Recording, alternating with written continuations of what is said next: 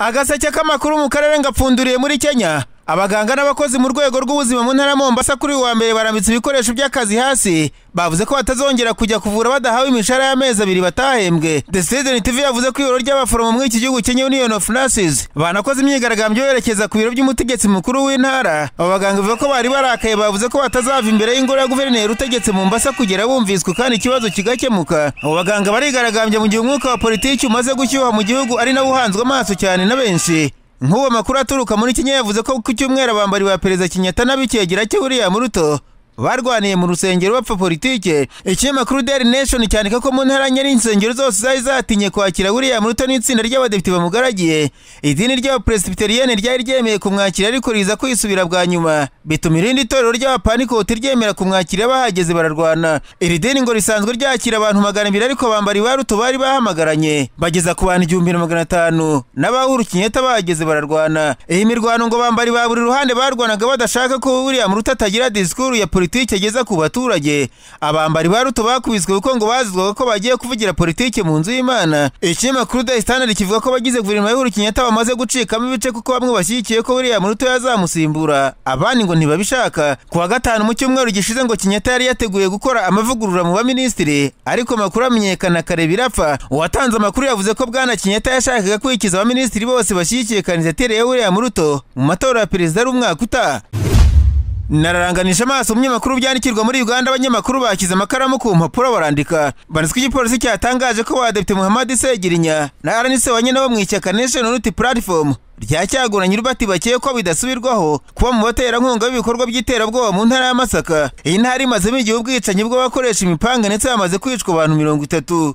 Ikinyamakuru nari post cyanditswe mu kiganiro n'abanyamakuru kuri uyu wa mbere. Umuvugizi wa polisi ya uganda fred nanga yabwiye abanyamakuru ko abantu bafashwe mu ibazwa bavuze ko batumwaga n'abo badepite bagamije guteza imvururu mu gihugu. Aba bagabo batemera ko bafitanye isano n'izi mvururu leta yita iterabwoba. Bavuga ko ari gahunda y'ubutegetsi bushaka gucecekesha abatikiriza intero yabwo. Umuvugizi wa polisi ya uganda yavuze ko abatangabuhamya bemerera ko babatumaga kwica bakabasezeranya ubutunzi akaba ariyo mpamvu babatumije kugira ngo batange ibisobanuro. Ikinyamakuru nari ripoti cyanditswe n'itumizwa ry'abo badepite aranise wanyene na muhammad segirinya. Ritashimishije bamwe mu banyapolitiki barimo rubati cyaguranye. Uvuga ko ari ugushaka guharabika ishyaka rye Elias Rukwa gutegeka umujyi wa Kampala yavuze ko uku kubeshyira iri shyaka ngo ari ikimenyetso cy'ubutegetsi buri mu marembera. Hari amakuru yavuze ko haba hari impapuro zo kwangisha abaturage ubutegetsi no kubatera ubwoba zinyanyagizwa hirya no hino ahitwa Wakiso na byo ngo bizasuzumwa mu iperereza. Aba badepite ngo batangaga amafaranga bitwaje imihoro bagatema abantu bakuru. Babaziza ko batabafasha mu gucengiza amatwara agamije kwangisha abaturage ubutegetsi bwa Museveni. Ikinyamakuru Chimp Report cyanditsweho abagabo babiri bitabye mu masaha ya mu gitondo ariko umutekano ngo wari wakajijwe huzuye abapolisi ndetse abanyamakuru ngo ntibemerewe gufata amakuru n'umuturage wagerageje gufata ifoto yafungwaga icyakora ikinyamakuru Daily Monitor cyatangaje ko abadepite baherekeje bagenzi babo ngo babujijwe kwinjira ahakorera polisi cyane ko n'imihanda yari ifunze yerekeza i Masaka. Bagaye izo mbaraga z'umurengera zidakoreshwa mu kurwanya ibyaha. Umukuru wa polisi mu ntara ya Masaka yavuze ko impamvu bakajije umutekano bari bamenye ko mu baza gushyigikira abo badepite bari buteze imvururu. Ninyibuje muri kongo kinshasa abanyamakuru bicaye imbere ya mudasobwa barandika. Banditswe barwanya magana abiri makumyabiri umutwe witwaje intwaro barambitse intwaro hasi bakishyikiriza ingabo za leta mu kwezi gushize ahitwa iwarikare radiyo kapite yavuze ko amakuru yizewe ava mu gisirikare cya leta frdc yavuze ko abarwanyi bavuye mu mutwe nibura itanu ikomeye muri iyo ntara.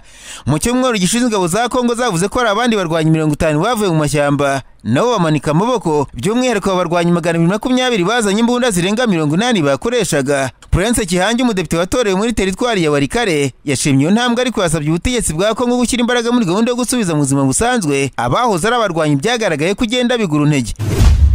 Agaseke k'amakuru mu karere gapfundikiriye muri tanzania abanyamakuru bakozeje ba muri no barandika. Banditswe abantu makumyabiri bari bafungiye muri kasho ya polisi ya mbagara. Mu mujyi wa dar es salaam batetse umutwe bagasohoka bose baracika hakabura n'uwo kubara inkuru ufatwa.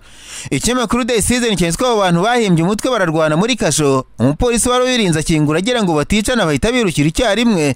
Iki kinyamakuru cyanditse ko umupolisi yagerageje kurasa mu kirere ngo bahagarare biranga iyo kasho abaturage bayituriye bagaragaza ko isanzwe ifungirwamo abantu mu buryo butemewe kuko hagenewe bafunga abantu nibura icumi ariko ngo hari ubwo yuzura bakagera muri mirongo guhumeka bikanga. Yewe ngo bamaramo n'iminsi irengeje iyo amategeko ateganya. Abo baturage bayituriye bavuze ko bakurikije amasasu yavuze ukuntu yari menshi. Ngo bishoboka ko abantu baba bararambiwe kuko ngo batagezwa mu butabera. Abakuru ba polisi muri Dar es Salaam bavuze ko abo bantu bashinjwaga ibyaha bito bito bafashwe mu mukwabu wa polisi nijoro.